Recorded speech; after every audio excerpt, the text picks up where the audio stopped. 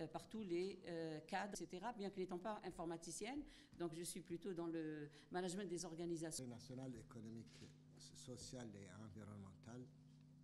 de faire cette expérience dans notre- هذا الفضاء بحكم. أهميته يجمع في مصدر واحد أي هذه المنصة عدد كبير من البيانات المفيدة المستخلصة بواسطة حسابات اقتصادية مالية متطورة من خلال مصادر رسمية أين تم تطوير لوحات معلومات قيادية خاصة من أجل إعلام المستخدمين وتنويرهم حول أهم التطورات الجارية في العديد من المواضيع في في بلادنا. C'est précisément dans ce cadre que le CNES et l'UNICEF, à travers un partenariat stratégique, ont travaillé main dans la main pendant plusieurs mois pour créer une plateforme de données accessible à tous dans le cadre de l'initiative Data for All.